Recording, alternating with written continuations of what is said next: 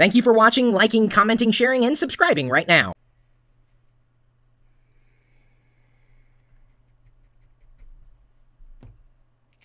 Finished. Of course, you can't see that I'm finished. Can you? Well, not unless you have a black light. Don't try holding a black light up to the uh, computer screen. It won't work that way. Let me take the black light here and show you that I've drawn a box with an X in it. That shows up in the video. Can you see it now? Barely, I'm, I'm assuming. But it's there. I drew it with invisible ink. Yes, you can see an X inside a square. That's exactly what is there right now. You have to pardon the uh, conditions in here are not optimal. I mean, I don't want to be completely in the dark. And I want to show you that I did draw something with invisible ink. We used to do this uh, when we were kids with uh, lemon juice and paper and uh, pass these uh, you know, notes back and forth with friends or family members. And in order to see those notes, you'd have to hold the paper over a heat source like a light bulb, and that would essentially burn the lemon juice and then cause uh, whatever was there to show up. Kind of neat.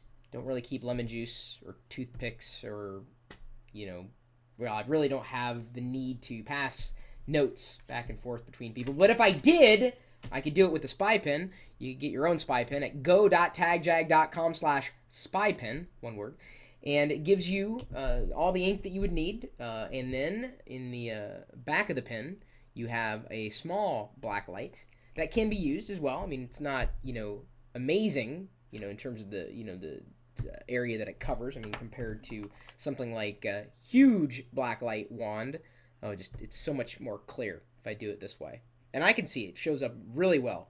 You know, at this close of a, a distance, at least between the black light and the uh, post-it note and myself, my eyes. But the spy pen has everything you need: the uh, pen, uh, the black light, and well, I guess it's not everything you need because then you'd need a piece of paper. Uh, I've tried it on uh, various surfaces, and paper seems to work the best. I've tried it on heavier paper that I use in my laser printer. Didn't work at all. It absorbed the ink and when I went to look for whatever I had written, it wasn't there.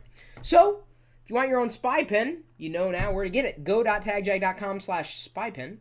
Uh, probably good for you to use uh, with um, friends who uh, have a black light. If they don't, they're really not going to get it. Maybe you could even uh, have fun with it too. You can send secret messages to people. You'd send them a handwritten letter, give it to them, it seems fine, and then there would be a secret message inside, you know, after they had read it, and they would be able to kind of read between the lines and see different um, you know, uh, messages or whatever you had done in Invisible Ink. Thing is, with Invisible Ink, um, you should write either with the black light on, hovering over it, so you can see what you're drawing. Because uh, once you have drawn it, it's going to be impossible to see unless, of course, you have the black light.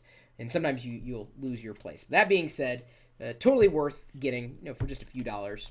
Again, uh, if you want, you can get a bigger black light too. Not that much more expensive, but you have everything you need in the spy pen minus the paper.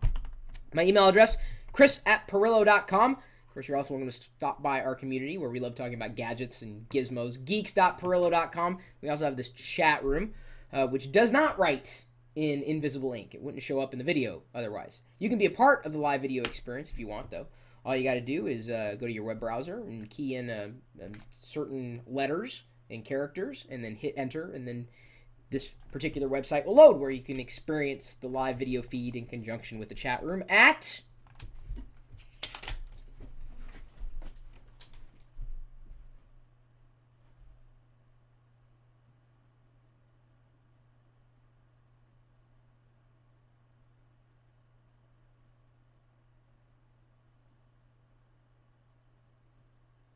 Yeah?